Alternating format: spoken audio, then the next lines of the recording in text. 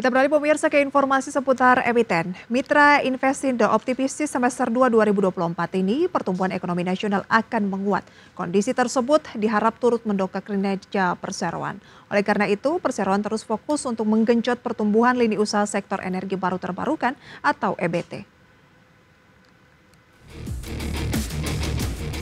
Mitra Investindo emiten berkode SAMITI optimistis semester 2 2024 pertumbuhan ekonomi nasional akan menguat.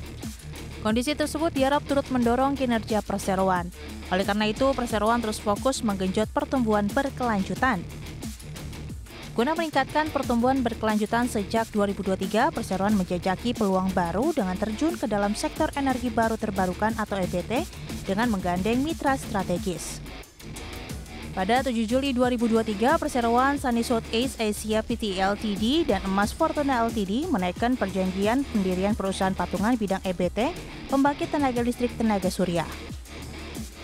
Di samping menjajaki sektor energi baru terbarukan, energi surya pada 9 Oktober 2023, Perseroan, Prima Aset Lestari dan Intera Resource Ltd menaikkan perjanjian pemegang saham untuk mendirikan perusahaan patungan bidang energi baru dan terbarukan biomass wood pellet.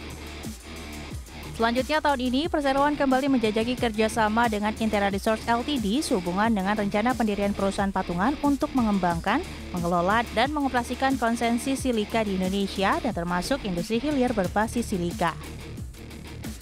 Mitra Investindo telah menyalurkan dividen senilai 10,62 miliar rupiah. Alokasi dividen itu sekitar 28 persen dari tabulasi laba bersih tahun buku 2023 senilai 38,50 miliar rupiah.